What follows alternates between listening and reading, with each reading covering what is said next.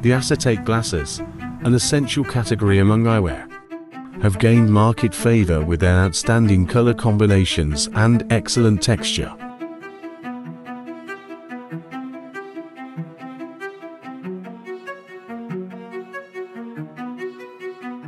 In essence, the production process of acetate eyewear involves shaping the acetate sheets into various components of the glasses and then connecting them together using eyewear accessories.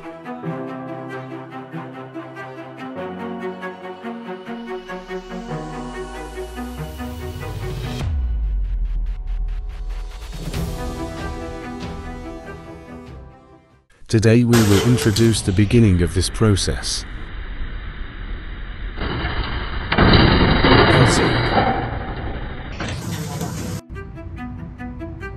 This is what the acetate sheet originally looked like.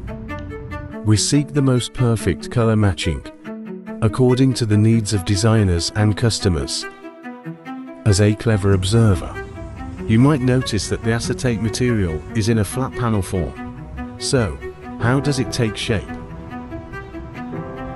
To find the answer, we need to explain the specification of the acetate sheet. There are several kinds of commonly used acetate specification. The thickness of the front acetate is usually 6.0 millimeters, and the thickness of the temple acetate is 4.0 millimeters. Therefore, we will try to follow this size when we design. How to cut the material also needs to be calculated in detail. Before cutting the acetate, we will bake it for a while. The heat makes the acetate sheet relatively soft, preventing cracking and facilitating subsequent cutting operations. Punching cutting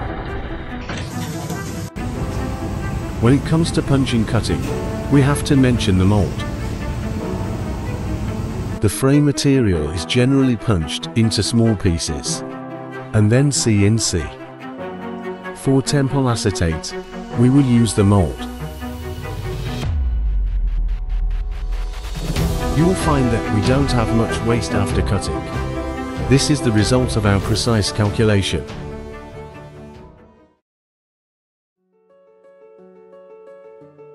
To here, the cutting is basically completed.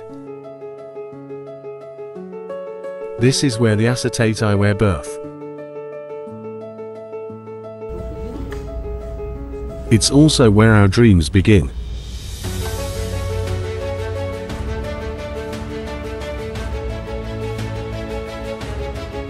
If you need to know more about glasses production knowledge, please follow us.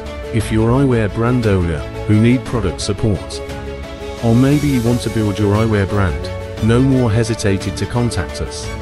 Our production team will try our best to help you. The basic shape is done. How to shape the front further.